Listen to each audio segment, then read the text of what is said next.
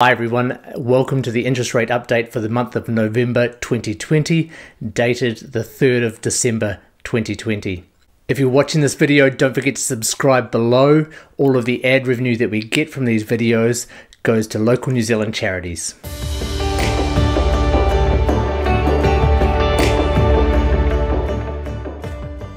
What a month. Even though there has been almost no change in the interest rates, there have been some big changes in the mortgage world.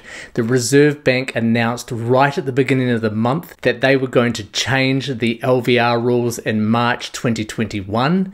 They initially said they wouldn't change them from a year from May, but because of the hot market, they are having to bring that forward. Now, of course, announcing that drives everyone into a frenzy to get things done before March, especially the investors. They will be moving from 80% to 70% maximum lending, that was going to heat up the market even more.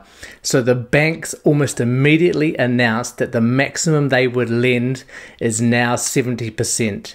You can't get an 80% loan through the main banks anymore. Now, whether or not this cools the market is a whole nother discussion, and I don't think it's going to do it. I think there are too many other factors mainly FOMO, fear of missing out.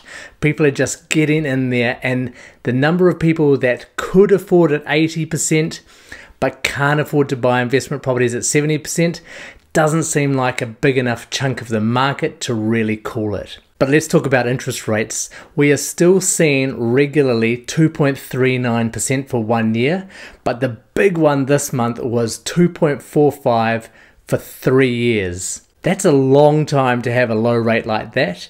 You're still getting the 2.99 for five years, but 2.45 for three years is outstanding. The question is, would you take it for that long? Even though the economists are starting to say, well, it's probably not going to be a negative OCR anymore, they are still saying the OCR is going to come down, which means interest rates are probably going to be quite a bit lower. We're talking still sub 2% next year. So to take that three-year rate, to take that 2.45% rate over three years, you might miss out on some gains next year. Comment below if you would take 2.45% for three years or would you take 2.39% for one year? Really interested to hear your feedback. For under 80%, we're still seeing about a 0.6 to 0.7% discount on the floating rate. That's the advertised floating rate. So make sure if you haven't got that discount, you talk to your mortgage broker about renegotiating it. If you're under 80%, you should be getting a good discount on your floating rate. If you're an investor, don't panic. You can still buy at 70%, and there are still some second tier non bank lenders that will lend to you at 80%. But watch those interest rates because they are going to come down in the next two months. I think we're going to see a 2.2 by the end of January.